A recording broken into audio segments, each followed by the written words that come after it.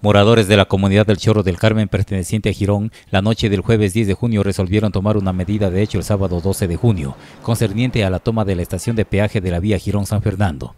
Ya que hemos sido engañados de muchas maneras, hemos tenido contactos con algunos gerentes de la empresa Asfaltar, pero ninguno de ellos nos ha dado solución a la vía. Luego de esta convocatoria, a las 17 horas del viernes 11 de junio, junto a la capilla se reunieron representantes de la comunidad y de la empresa pública Asfaltar para analizar una salida y que se decline la medida. Los funcionarios insistieron en que ya estaba firmado un nuevo convenio.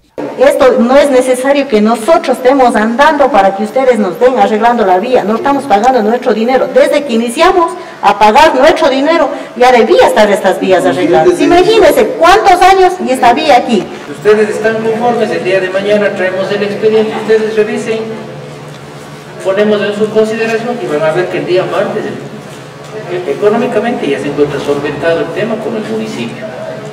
Nosotros tenemos ya la partida presupuestaria que hemos estado siguiendo y siguiendo y siguiendo y siguiendo, ya que este rato tampoco, ¿no? Ustedes saben cuál es la, la situación en la que no se hacen estas transferencias. Al final en ese día no hubo negociación. Nos vamos a ir a parar, pues va a ver que sí se puede no cobrar dos días. La mejor garantía el convenio la garantía del convenio, pero hay un convenio que no se cumplió. En este momento nosotros como profesionales estamos haciendo y al frente de la empresa Asfaltar estamos dando los respaldos necesarios y el seguimiento. El sábado desde las 7 de la mañana se cumplió el plantón con moradores del Chorro y otras comunidades aledañas. La circulación fue libre mientras esperaban a las autoridades. Desde las 9 horas 50 se interrumpió el tráfico vehicular y se daba cada hora. Largas filas se formaban. Automotores con personas enfermas y que transportaban alimentos eran permitidos avanzar. Pasadas las 9 horas 30, el concejal Javier Delgado llegó al sitio. A las 11 horas lo hizo el delegado de la prefectura y luego el concejal Fausto Ávila. Un acalorado diálogo se dio. Los manifestantes exigían que se suspende el cobro del peaje, mientras el funcionario insistió en que el lunes inician los trabajos. Tanto de la prefectura como del gas municipal no existe ningún trabajo. ¿Cuántas veces los moradores de aquí tienen que pasar por este peaje, pagar diariamente por un servicio que no están recibiendo al 100%.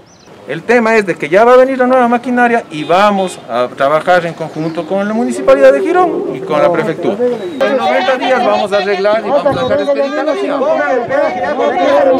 ¿Y por qué no le llama al señor alcalde? Verá, ¿por qué no le llama al señor alcalde? Señor alcalde, estamos con el convenio, le va a dar la plata y empecemos a trabajar. Ahorita queremos escuchar. Pero si el lunes ya vamos a trabajar. Si la prefectura hubiese venido la primera vez, decían, miren señores, vamos a cumplir, estuviéramos tranquilos, todos ustedes trabajan allá y nosotros estuviéramos felices con la vía y pagando, sin pena. Aquí la solución tienen que dar ustedes.